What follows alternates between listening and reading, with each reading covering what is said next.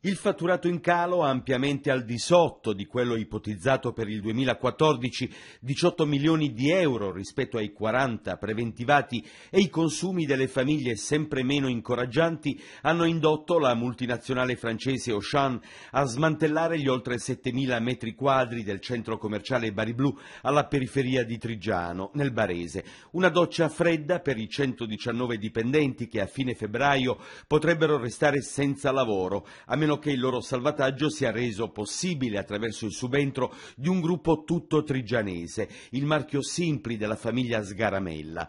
Iper Simpli, secondo alcune indiscrezioni, potrebbe prendere il posto di Auchan e utilizzare solo la metà della superficie disponibile, ricollocando non più di 80-90 unità.